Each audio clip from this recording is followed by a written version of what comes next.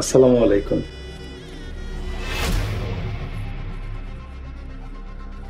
ভালো আছেন? দেখেন আপনার ব্যাপারে আমি আমার বাবা থেকে সব শুনেছি। আমার এই বিয়েতে কোনো ইচ্ছা ছিল না। আমার বাবা আমাকে জোর করে বিয়ে দিয়েছে। আরে আপনাকে দেখি জঙ্গলের মতো লাগছে। আর এসব কি পড়েছেন? শেরওয়ানি পাগড়ি এগুলো কোথায়? আমি কার সাথে বাসর ঘরে এসেছি? দেখেন দাড়ি রাখা সুন্নত তাছাড়া বিয়েটা হুট করে হয়ে যাওয়াতে আমি কোনো প্রস্তুতি নিতে পারিনি। তাছাড়া বিয়ের শুক্রানা নামাজ পড়ব তো? শেরওয়ানি পরে নামাজ পড়াটা স্বাচ্ছন্দ্য এই খবরদার আপনি এই খাটে বসবেন না। আমি তো এটা ভেবে অবাক হচ্ছি। আপনার মতো খ্যাত একটা লোকের সাথে বাবা আমাকে বিয়ে দিল। আমার জীবনটা বাবা এভাবে নষ্ট করে দিল। বিয়ে? আরে আমরা তো বিয়ে দেওয়ার জন্য প্রস্তুত। তোর ছেলে প্রস্তুত কিনা তাই বল। ও ভালো কথা। তুই আমেরিকা থেকে আসবি কবে? তাই। তাহলে আমরা এক কাজ করি। আমরা এর মধ্যে বিয়েটা সেরে ফেলি। তোরা যখন আসবি তখন বড় করে অনুষ্ঠান করব ঠিক আছে? আল্লাহ হাফেজ। এই ছেলের বাবা কি বলল? আরে ছেলের বাবা তো চাইছে আজকেই বিয়ে দিয়ে দেওয়ার জন্য। আলহামদুলিল্লাহ এটা তো অনেক ভালো খবর। কিন্তু আমরা আজকে দিব না আগামীকালকে বিয়ের আয়োজন করব। তুমি তোমার মেয়েকে ডাকো। সুইটি এই সুইটি এদিকে আয় তো মা। জি মা। শোন তোর বাবা কি বলে? কি বাবা? মা আমরা তোর বিয়ে ঠিক করেছি। আগামীকালকে তোর বিয়ে। আগামীকালকে বিয়ে মানে? বাবা চিনি না জানি না এরকম কাউকে আমি বিয়ে করতে পারব না। তুই চিনিস না জানিস না খুব ভালো কথা। কিন্তু আমি তো চিনি ছেলের বাবা আমার খুব কাছের বন্ধু। আমরা অনেক দূর পর্যন্ত লেখাপড়া করেছি ও এখন আমেরিকায় থাকে। আর ছেলে এখানেই থাকে ব্যবসা করে। সবচেয়ে বড় কথা হচ্ছে ছেলে নামাজি ফরেস্ট গার্ড সৎ চরিত্রবান। নামাজি ফরেস্ট গার্ড এত খ্যাত। বাবা এরকম খ্যাত একটা ছেলেকে আমি বিয়ে করতে পারব না। এভাবে বলিস না। ছেলেটা খুবই ভালো। আর এরকম ছেলে লাখেও খুঁজে পাবে না। এই ছেলের সাথেই তোর বিয়ে হবে আগামীকাল বিয়ে হবে এটাই ফাইনাল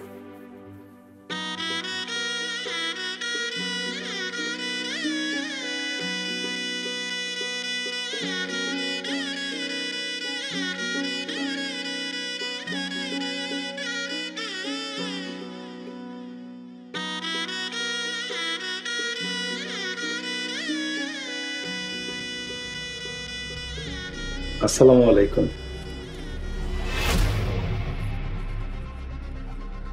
আপনি ভালো আছেন?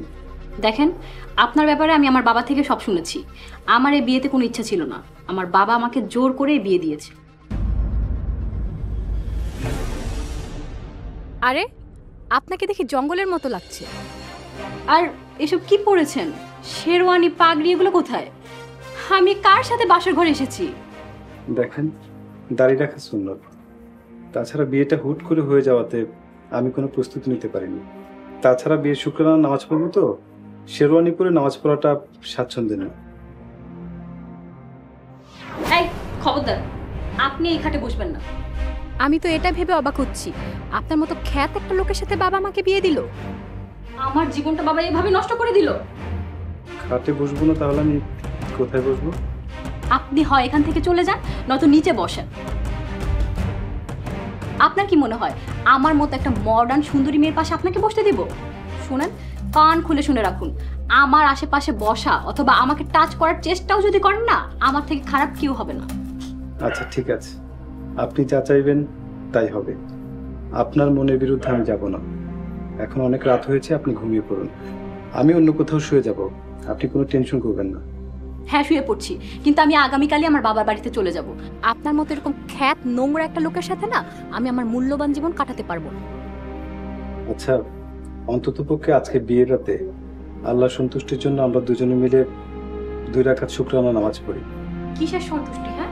আমি কি আপনাকে বিয়ে করে সন্তুষ্ট? যে সন্তুষ্টি আদায় করব? আপনি পড়েন আমি পড়তে পারব। না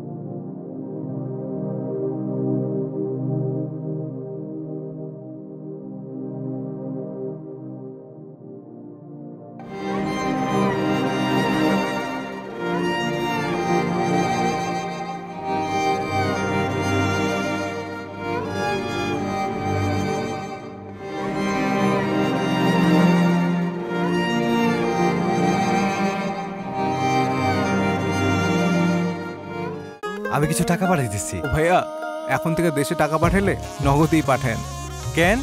নগদে ক্যাশ আউট চার্জ সবচেয়ে কম আর সেন্ড মানিও ফ্রি। ও আপনি এখানে? আচ্ছা আমি চলে যাচ্ছি। কোথায় যাচ্ছেন? কোথায় যাচ্ছি মানে? আমি আমার বাবার বাড়িতে চলে যাচ্ছি।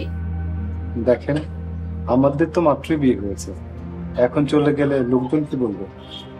লোকজন কি বলল তাতে আমার কিছু যায় আসে না। আমার কাছে আমার লাইফটা অনেক বেশি ইম্পর্টেন্ট আপনি চলে গেলে আমি কষ্ট পাবো। আমার বাবা মা থামেন। আপনি কষ্ট পেলে তাতে আমার কি? আমার কথা এখনও শেষ হয়নি আপনি চলে গেলে আমার যেমন কষ্ট হবে আপনার বাবা মাও কষ্ট পাবে। আমার বাবা মা কষ্ট পাবেন মানুষ মানুষকে কষ্ট দিলে আল্লাহ খুশি না। ও আর আমি যে কষ্ট পাচ্ছি সেটার কোনো মূল্য নেই তাই না? আপনি যেভাবেই থাকতে চান সেভাবেই থাকবেন। আপনার কোনো কষ্ট হবে না। প্লিজ আপনি থেকে যান। আমি এক কথার মানুষ। আমি এখনই চলে যাব। তাহলে তো আর আমার কিছু বলার নেই। আমি আপনাকে পৌঁছে দিই। আপনার না আমাকে পৌঁছে দিতে হবে। আমি একাই যেতে পারব। আর শোনেন আপনার কোনো হেল্প আমার কখনোই দরকার হবে না। আমি গেলাম।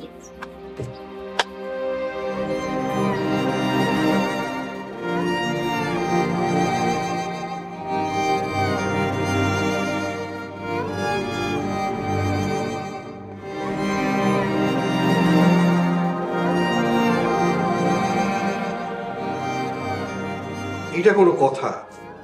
এখন আমি আমার বন্ধুর কাছে মুখ দেখাবো কেমন করে। কত আশা ভরসা করে তোদের বিয়ে দিলাম। আর একদিন না বেরোতে তুই ওই বাড়ি থেকে এই বাড়িতে চলে আসলি। দেখো বাবা এই ছেলের সাথে আমি সংসার করতে পারব না। আমি ডিভোর্স চাই। তোমরা আমার ডিভোর্সের ব্যবস্থা করো। এইসব তুই কি বলছিস? কালকে তোর বিয়ে হয়েছে। আর আজকে তুই চলে আসলি? এরকম একটা খ্যাত আনকালচার ছেলের সাথে আমি সংসার করতে পারব না। বোরিং একটা। কেন? তোর সমস্যা কি? দেখো বাবা আমার সবসময় উঠা বসা মডার্ন হাই সোসাইটির সার্কেলের সাথে। এরকম একটা প্রাণহীন মানুষের সাথে আমি সারা জীবন থাকতে পারব। দেখ মা তুই আগে সংসার করে দেখ তাহলে বুঝবি মুস্তাকিম কত ভালো একটা ছেলে। ভালো না চাই দেখো বাবা ওই জঙ্গলের মতো মুখ ভর্তি দাড়িওয়ালা লোকটার সাথে আমি আমার লাইফ কাটাতে পারব। না এটা কেমন কথা? দাড়ি থাকলেই কি একটা ছেলে খারাপ হয়ে যাবে? আমারও তো দাড়ি আছে। জ্ঞান দিতে এসো না। আমি এই ছেলের সাথে সংসার করব না এটাই ফাইনাল তোমরা আমার ডিভোর্সের ব্যবস্থা করো। সুইটি এই সুইটি কি করি বলো তো? এখন তো আল্লাহর উপর ভরসা করা ছাড়া আর কোনো উপায় নেই। হুম সবই তো বুঝলাম। কিন্তু তোর বাবা যে কেন এই কাজটা করল সেটাই তো বুঝলাম না। আমি যে এখন কি করব কিছু বুঝতে পারছি আরে এটা নিয়ে এত ভেঙে পড়িস না তো। তো ভেঙে পড়ব না তো কি করব?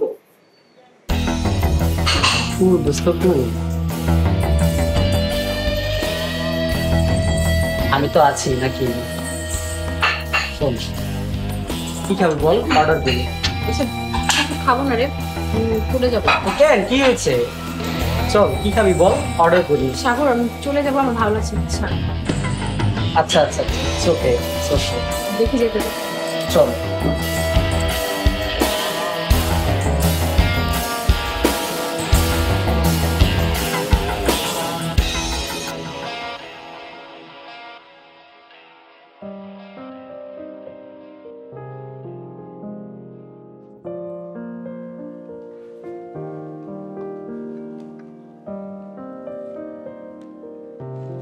আই নো মোচা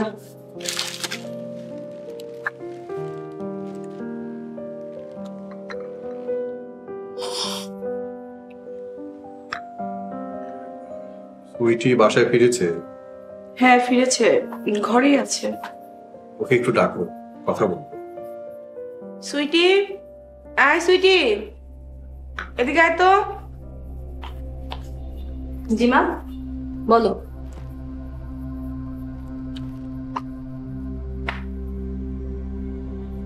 কোথায় গিয়েছিলি? বাবা আমার একটা বন্ধুর সাথে বাইরে দেখা করতে গিয়েছিল।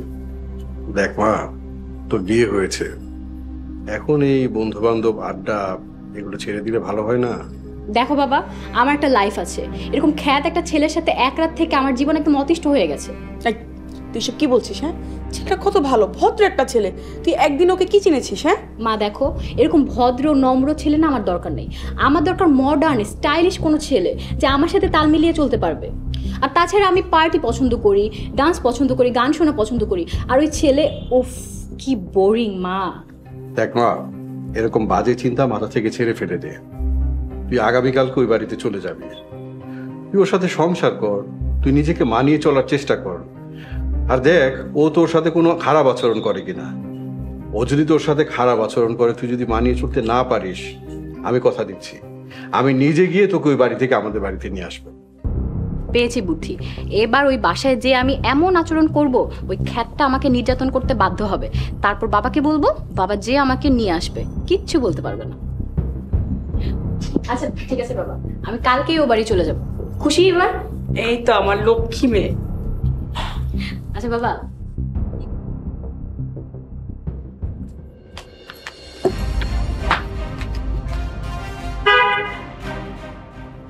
আপনি এসেছেন আলহামদুলিল্লাহ। আমি খুব খুশি হয়েছি।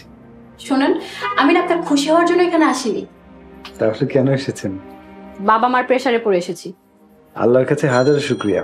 আপনার বাবা মার জন্য হলেও আমার এখানে চলে আসছেন। অন্তত বাবা মা তো খুশি হয়েছেন। আচ্ছা যাই হোক আমার এখন ক্ষুধা পেয়েছে আমি কিছু খাব। আমি তো একটু অফিসে যাব। আচ্ছা বাসায় না বাজার করা আছে? বাসায় বাজার করা আছে মানে? এই আপনি কি আমাকে রান্না বান্না করতে বলতেছেন? আমি না কোনো রান্না বান্না করতে পারব না। আচ্ছা ঠিক আছে। কোনো সমস্যা নেই আমি আপনার খাবার ব্যবস্থা করি তারপর অফিসে যাব। এখন আপনি একটু বিশ্রাম নেন।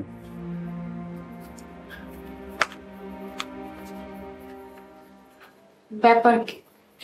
এত খারাপ বিহেভ করলাম তারপরে রাগ দেখাল না? বুঝেছি। ডোজ আর একটু বাড়িয়ে দিতে হবে।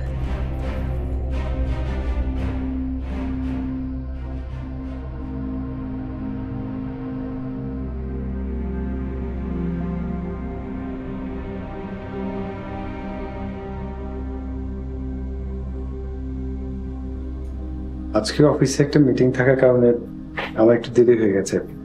আপনি মন খারাপ করেননি তো? স্ট্রেঞ্জ আপনার অফিসে মিটিংয়ে লেট হয়েছে তাতে আমি কেন মন খারাপ করব? আর তাছাড়া আপনি যদি বাসায় না আসতেন তাহলে অনেক বেশি খুশি হতাম।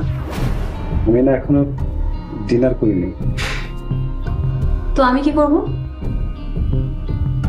চলেন না একসাথে ডিনারটা করে ফেলি। এক্সকিউজ মি আপনি ভাবলেন কি করে যে আপনার মতো এরকম খ্যাত নোংরা একটা লোকের সাথে আমি ডিনার করব? আর তাছাড়া আমি ডিনার করে ফেলেছি। ভালো করেছেন। একটা কথা, মানুষকে কখনো তাচ্ছিল্য করে কথা বলতে হয় না। তাচ্ছিল্য করলে আল্লাহ পাক নারাজ হন। আমি চাই না আল্লাহ পাক আপনার উপরে নারাজ হোক। এই, আপনি কি আমাকে জ্ঞান দিতে এখানে এসেছেন নাকি হ্যাঁ? আপনার মতো খ্যাত মানুষের কোনো জ্ঞান আমার লাগবে না। আর আমি এখন ঘুমাবো, আপনি এখান থেকে যান।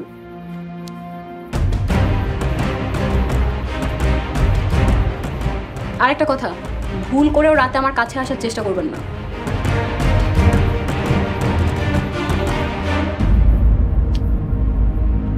ঠিক আছে। আমি তাহলে এখানেই ঘুমিয়ে গেলাম। জাহান নামে যান।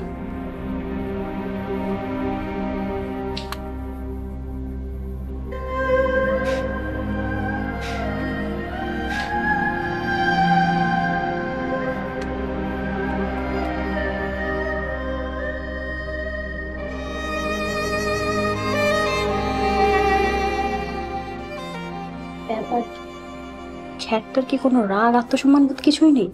আমি যতই খারাপ ব্যবহার করছি আমাকে কোনো রাগই দেখাচ্ছে না।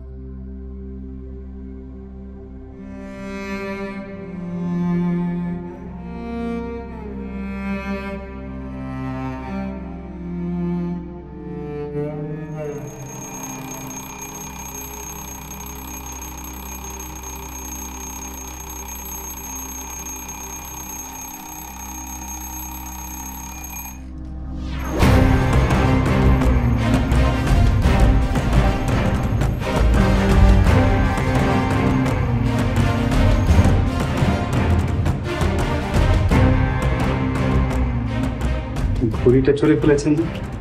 আমার ঘুমের ডিস্টার্ব হয়েছে তার জন্য ফেলেছি। হজরের নামাজ পড়তে ওঠার জন্য অ্যালার্মটা দিয়েছিলাম। আই সরি আচ্ছা আপনার কি কোনো কমন সেন্স নাই হ্যাঁ?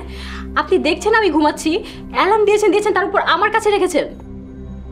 যেহেতু উঠেই করেছেন চলেন না ফজরের নামাজটা পড়ুনি না না আমি এখন ঘুমাবো নামাজ পড়তে পারব না আপনি যান। আল্লাহ আপনার হেদায়ত দান করুন? ঘুমটাই নষ্ট করুন।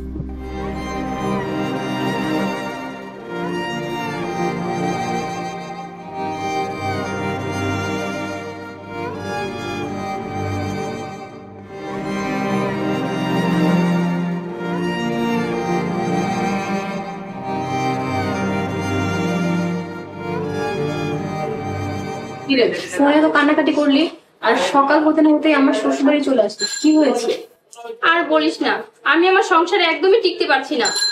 কেন? কি হয়েছে? আমার জামাই আমার উপর অনেক নির্যাতন করে আর কথায় কথায় গায়ে হাত তোলে। বলিস কি? কিন্তু কেন? আমার মনে হয় এটা ওর স্বভাব। প্রতিদিন রাতে নেশা করে বাড়ি ফিরবে আর আমাকে প্রচুর মারবে। এখন কি করবি? আচ্ছা তুই এক কাজ কর। তুই না এরকম স্বামীর সাথে সংসার করিস না। ডিভোর্স দিয়ে দে।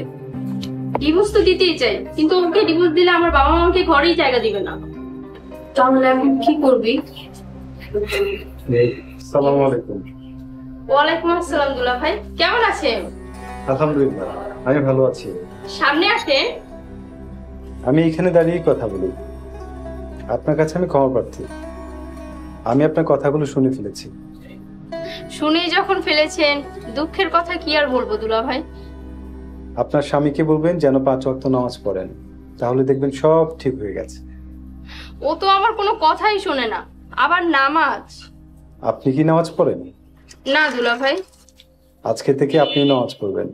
বেশি বেশি করে কোরআন শরীফ পড়বেন। আল্লাহর কাছে দোয়া করবেন। আল্লাহ যেন আপনার স্বামীকে হেদায়েত দান করেন। ঠিক আছে দুলা ভাই। থ্যাংক ইউ আমি আসি। আসসালামু আলাইকুম।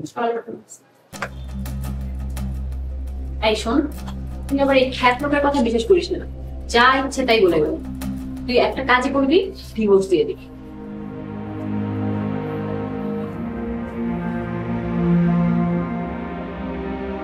আরে বাবা, আমি এখনই বের হচ্ছি দুইটা মিনিট ওয়েট কর। হ্যাঁ হ্যাঁ আচ্ছা ঠিক আছে, আমি নামছি।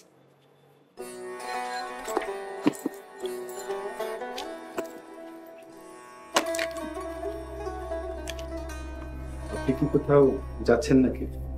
হ্যাঁ একটু শপিং এ যাব। এখন তো অনেক রাত হয়ে গেছে। একা একা যাবেন? এই যে আপনাকে আমার ব্যাপারে খবরদারি করতে কে বলেছে? আর আমি কোথায় যাব না যাব তার জবাবদিহিতা কি আপনাকে করতে হবে? অনেক রাত হয়ে গেছে তো একা একা যাবেন? তাই ভাবছিলাম যে আমি সাথে যাই। আচ্ছা আপনি ভাবলেন কি করে যে আপনার মতো এরকম নোংরা খ্যাত একটা লোককে নিয়ে আমি শপিং এ যাব? আর বাই দ্য ওয়ে আমি একা যাচ্ছি না। আমার সাথে আমার ফ্রেন্ড যাচ্ছে। সাবধান?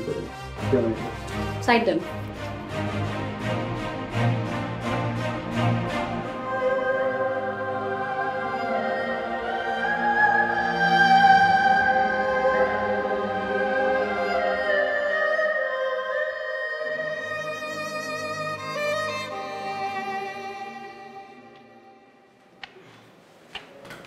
কিরে এটা কোথায় আনলি আরে আমার এক ফ্রেন্ডের বাসা। ফ্রেন্ডের বাসা? কিন্তু আমাদের না শপিং এ যাওয়ার কথা ছিল। আরে শপিং এ তো যাবোই। তার আগে একটু চিল করে নিই আচ্ছা তোর ফ্রেন্ডের বাসায় কে কে আছে? কেউ না। শুধু তুই আর আমি থাকি। আমি যাব না। কেন যাবি না? তুই না বললি তোর অশান্তি লাগতেছে। বলেছি তো আমি যাব না। আরে চল তো। সাগর আমি যাব না বলেছি তো। তুই না আমার বন্ধু না গো তোর যেতেই হবে চল। সাগর আমি হাত ছাড়তে বলেছি যাব না।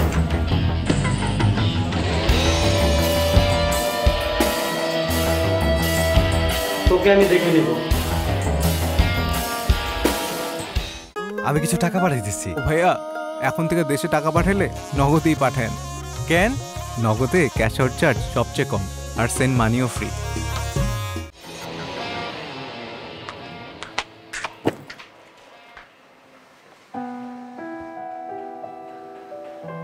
একটা মানুষ এত খারাপ হয় কীভাবে? সাগরকে আমি কত ভালো জানতাম। আর ও এত জঘন্য আমি বিশ্বাস করতে পারছি না।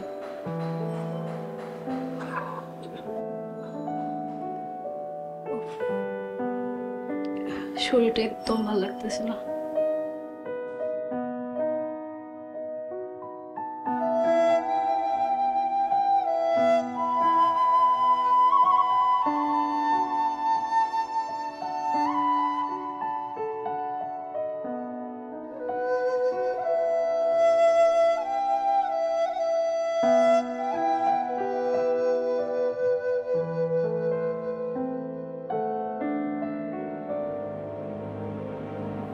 যে শুনছেন? শুনছেন? ঘুমিয়ে পড়েছেন নাকি?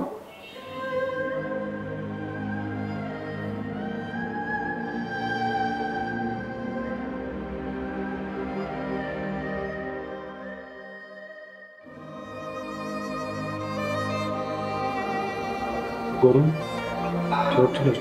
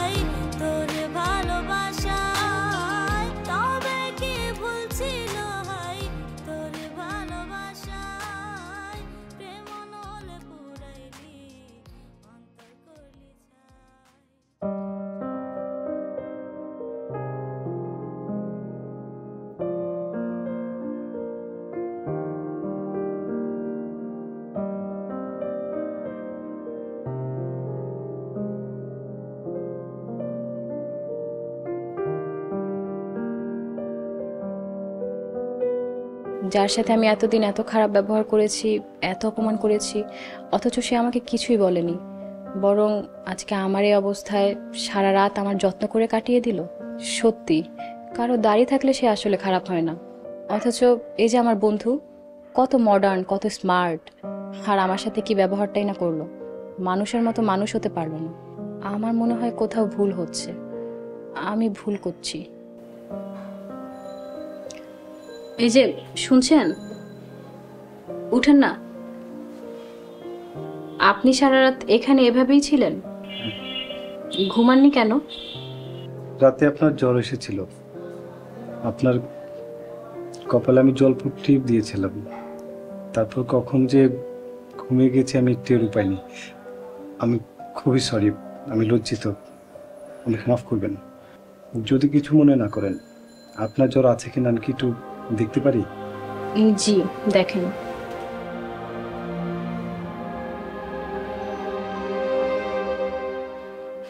আলহামদুলিল্লাহ। আপনার জ্বর তো এখন ভালো হয়ে গেছে একদম নাই। আচ্ছা ঠিক আছে আপনি তাহলে একটু বিশ্রাম নিন।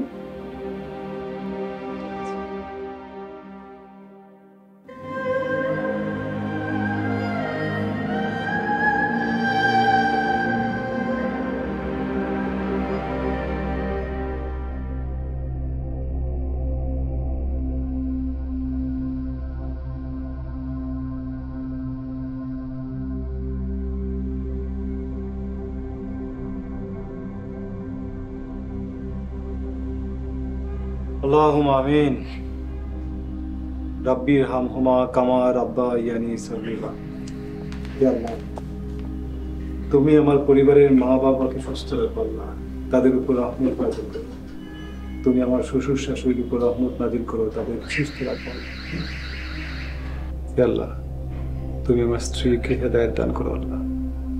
আল্লাহ, স্ত্রীকে তুমি সঠিক পথে চলার তৌফিক দান করো। দিনের পথে চালিত করো আল্লাহ। তুমি পরম ক্ষমাশীল। আমার স্ত্রী যদি কোনো ভুল করে থাকে, অন্যায় করে থাকে, তুমি তাকে ক্ষমা করে দিও রাব্বানা আতিনা ফিদ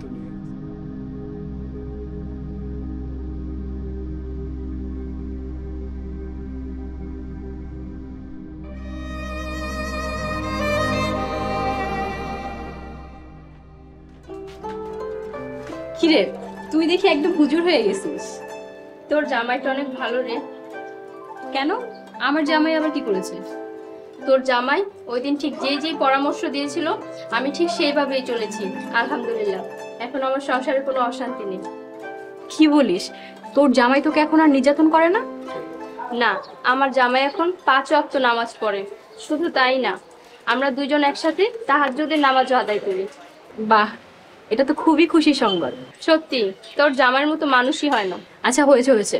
এইসব কথা বাদ দে অন্য কথা বল। চল তোকে এক জায়গায় নিয়ে যাব। কোথায় যাব? না না আজকে কোথাও যাব না। আমার মনটা ভালো লাগছে না। আরে চল না গেলেই দেখতে পাবি। তোর মনটা একবারে শান্ত হয়ে যাবে। চল। তুমি কোথায়?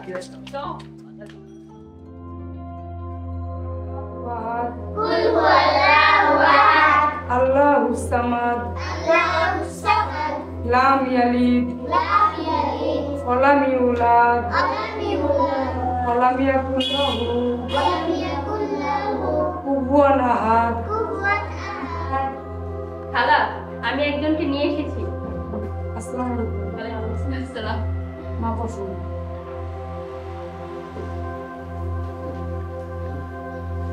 সুইটি আমি এই খালা থেকে কোরআন শরীফ পড়া শিখেছি এই খালা বাচ্চাদেরকে ফ্রিতে কোরআন শরীফ পড়া শেখায়।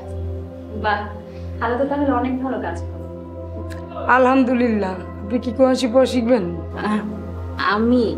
শোনো মা এই দুনিয়ার জীবন জীবন না আখেরাতে আমাদের আরেকটা জীবন আছে। এই দুনিয়াতে যদি ভালো কাজ করেন আখেরাতে আল্লাহর কাছে যা চাইবেন তাই পাইবেন। কাজেই আমাদের দুনিয়াতে ভালো ভালো কাজ করতে হবে পাঁচ ওয়াক্ত নামাজ পড়তে হবে রোজা রাখতে হবে জাকাত দিতে হবে কালেমা শিখতে হবে। তাহলে দেখবেন আপনার জীবন অনেক সুন্দর হবে আখেরা তো সুখী হবে তুই কোরআন শরীফ শিখে যখন বাসায় গিয়ে পড়বি দেখবি তোর মন অনেক শান্তি লাগবে। ঠিক আছে খালা আমিও আপনার থেকে কোরআন শরীফ পড়া শিখব। আর তারপর যখন শেখা হয়ে যাবে আমিও আপনার মতো সবাইকে কোরআন শরীফ ফ্রিতে পড়াবো। আলহামদুলিল্লাহ। এই বাচ্চারা আবার পড়ো। কুল হু আল্লাহু আহাদ। আল্লাহু সামাদ।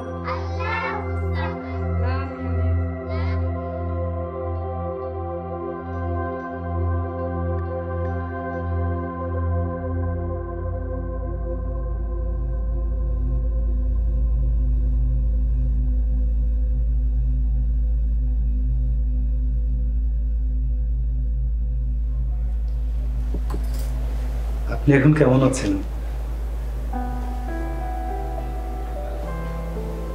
জি আলহামদুলিল্লাহ অনেক ভালো আছি।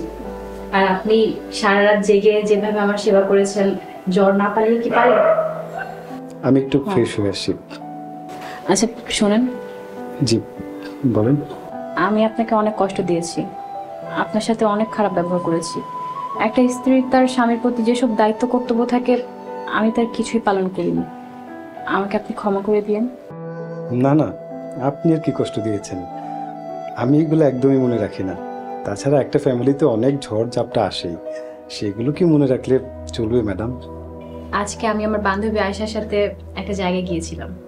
কোথায় গিয়েছিলেন? এক মহিলা ফ্রিতে বাচ্চাদের কোরআন শরীফ পড়ানো শেখায় সেখানে গিয়েছিলাম। আর ভাবছি আমি নিজেও কোরআন শরীফ পড়া শিখব। বাহ এটা তো খুবই ভালো কথা আলহামদুলিল্লাহ। এবার তো আপনাকে একটা গিফট দিতে হয়। কি কি সেটা না হয় সারপ্রাইজ হয়ে থাকল।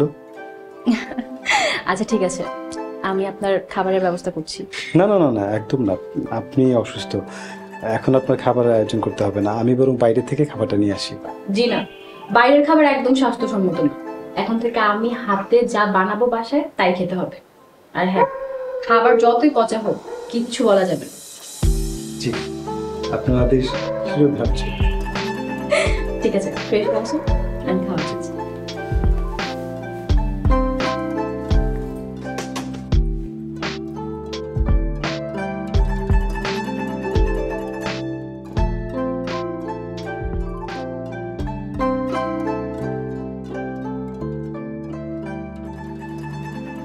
রান্না শেষ? জি শেষ। চলেন তাহলে খেতে দিই। আপনার না আমার জন্য গিফট আনার কথা ছিল? ও এই দেখ আমি একদমই ভুলে গিয়েছি গিফট আনতে। আচ্ছা ঠিক আছে আরেকদিন নিয়ে আসব ঠিক আছে চলেন খেতে চলেন। ঠিক আছে।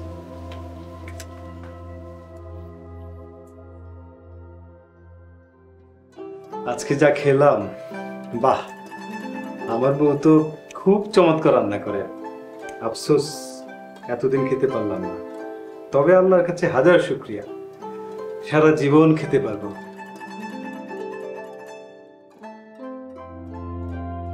কি ব্যাপার? আপনি কথা বলছেন না কেন? চুপ করে আছেন যে? বুঝতে পেরেছি। অভিমান।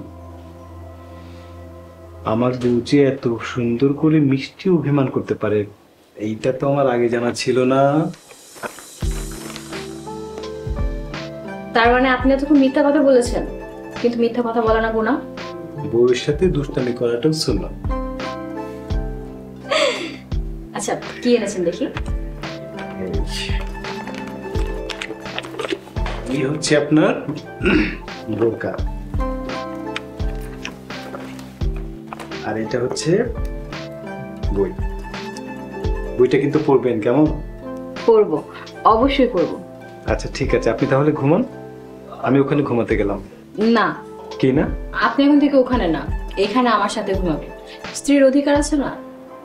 না আমি তো আপনার কথা শুনব না। কেন শুনবেন না কেন? যে বউ আমাকে আপনি আপনি করে সম্বোধন করে আমি তো তার কথা শুনব না। ও এই কথা। আচ্ছা ঠিক আছে। তুমি এখন থেকে ওখানে ঘুমাবে না। আমার সাথে এখানে ঘুমাবে। এবার খুশি? হ্যাঁ খুশি। আজকে থেকে আমি তোমার সাথেই ঘুমাবো।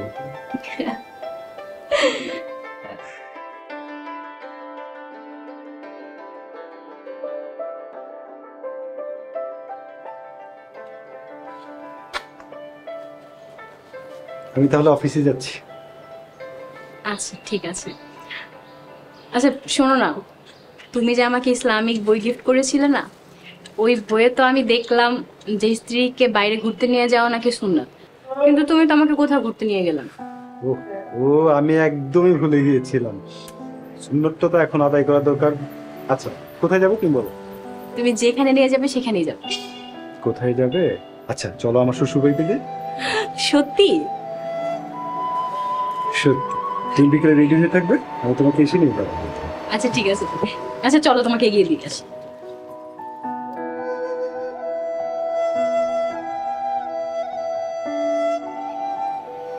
কি মনে হয় তোমার?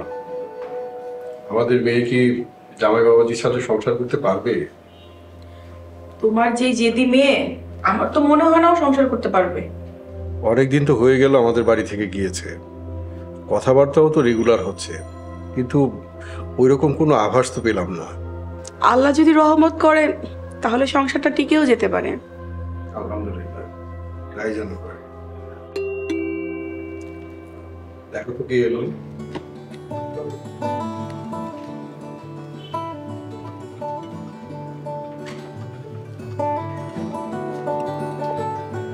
আসসালামু আলাইকুম। ওয়ালাইকুম আসসালাম। কেমন দিদি আসো আসো ভিতরে আসো। বাবা আসসালামু আলাইকুম। ওয়ালাইকুম আসসালাম। বসো।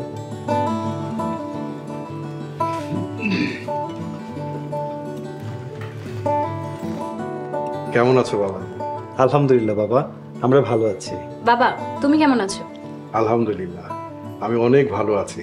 তোদেরকে দেখে আমার ভালোটা আরও দ্বিগুণ হয়ে গেছে। সুইটি মা তুই বোরখা পরেছিস? হ্যাঁ মা। তোমাদের জামাই আমাকে এই বোরকা গিফট করেছে। মাশাল্লাহ খুব ভালো লাগছে তোকে। শুধু কি তাই? তোমাদের জামাই আমাকে একটা ইসলামিক বইও গিফট করেছে। এখন তো আমি ইসলামিক জ্ঞান অর্জন করছি বই থেকে। বাহ মাশাল্লাহ শুনে খুব খুশি হলাম। তোমরা বসো আমি নাস্তা নিয়ে আসছি। আমি যে কি খুশি হয়েছি বাবাজি বলে বোঝাতে পারব না। জানো বাবা আমরা কিন্তু একসাথে এখন তাহাজুদের নামাজও পড়ি। তাই নাকি? গতকাল রাতে বাবা সুইটি যদি আমাকে ঘুম থেকে না তুলে দিত আমি তো তাহার জন্য নামাজটাই পড়তে পারতাম না। আলহামদুলিল্লাহ খুব ভালো কাজ করেছিস শোনা বাবা তুমি আমার মেয়েকে হেদায়েতের পথে নিয়ে আসছো। আমি খুব খুশি হয়েছি। আমার কোনো ক্ষমতা নেই বাবা। আল্লাহ তালা চেয়েছেন বলেই সুইটি আল্লাহর হেদায়েতের আলো পেয়েছে। কি? বলেছিলাম না? এরকম ছেলে হাতছাড়া করলে আর পাওয়া যাবে না?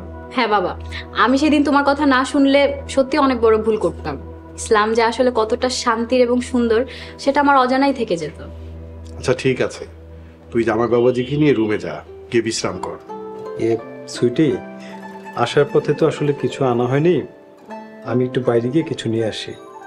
না না বাবাজি তোমার কষ্ট করতে হবে না কোথাও যাওয়া লাগবে না। আমি সব ব্যবস্থা করছি। বাবা কি যে বলেন না। আসলে আমাকে যদি একটু বাইরে যাওয়ার অনুমতি দেন আমি কিছু নিয়ে আসব আমার মনে অনেক প্রশান্তি আসবে। ঠিক আছে যাও। আসসালামু আলাইকুম। ওয়ালাইকুম আসসালাম। সাবধানে যেও বাবাজি বাবা। খুব ভালো লাগছে তো যা? গিয়ে ফ্রেশ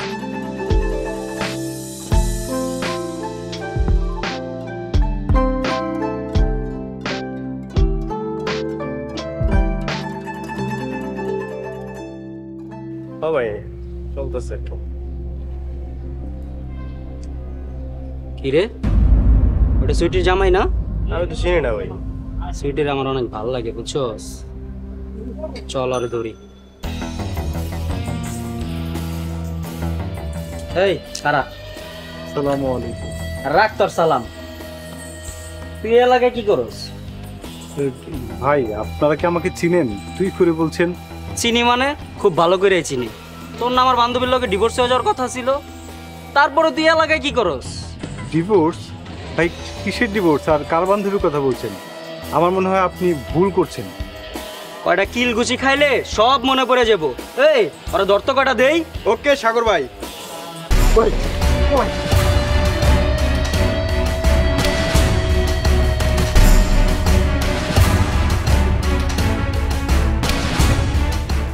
আমি কিছু টাকা পাঠিয়ে দিচ্ছি ভাইয়া এখন থেকে দেশে টাকা পাঠালে নগদেই পাঠান কেন? নগদে ক্যাশ আউট চার্জ সবচেয়ে কম আর সেন্ড মানিও ফ্রি। কত ভালো ছেলে। জি মা। আসলে আমি ওকে চিনতে পারিনি এতদিন। মা আমাকে এসব বলে আর লজ্জা দিবা না। সবসময় স্বামীর হাতে ছেড়ে চলবি পাঁচ ওয়াক্ত নামাজ কালাম পড়বি। জামাই কি পছন্দ করে এটা রান্না করে খাওয়াবি স্বামীর কথা মতো চলবি। দেখ তো কি আসলো?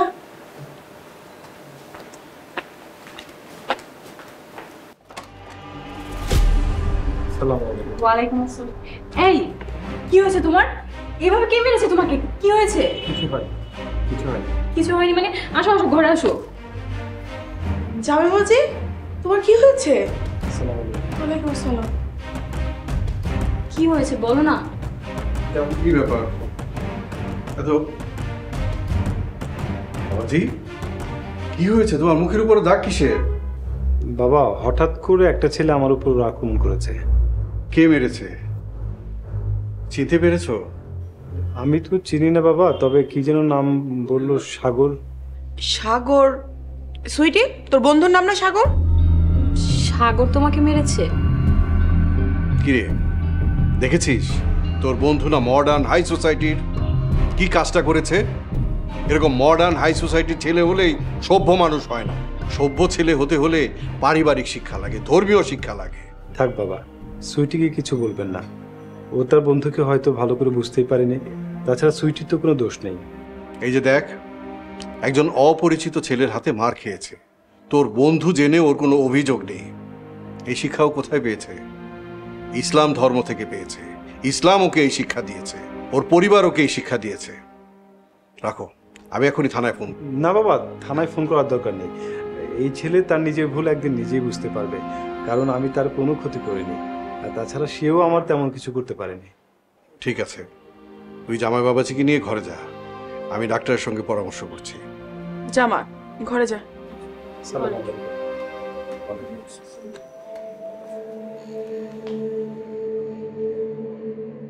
আল্লাহু আল্লাহু।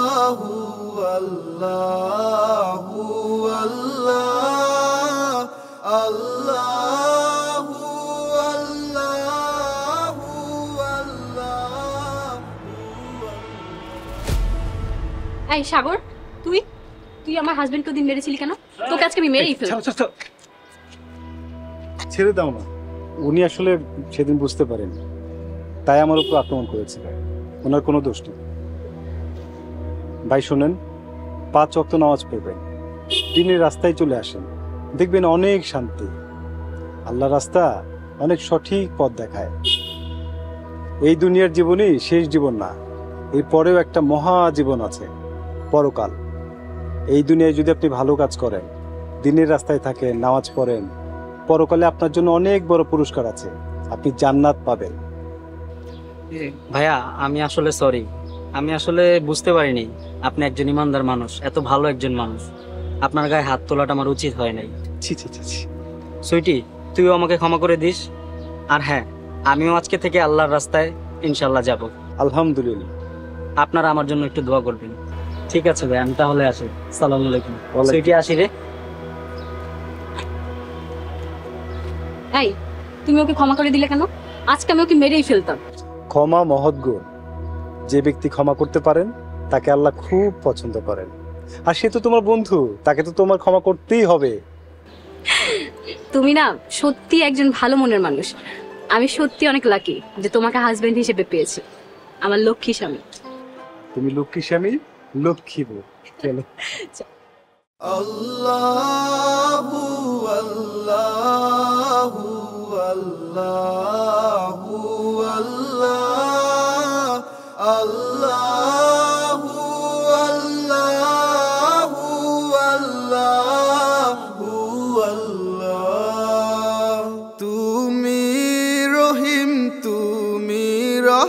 রহমান তুমি যে জব্বার আমি তোমার না ফরমান বান্দা বড়ই গুনাগার আল্লাহু আল্লাহু।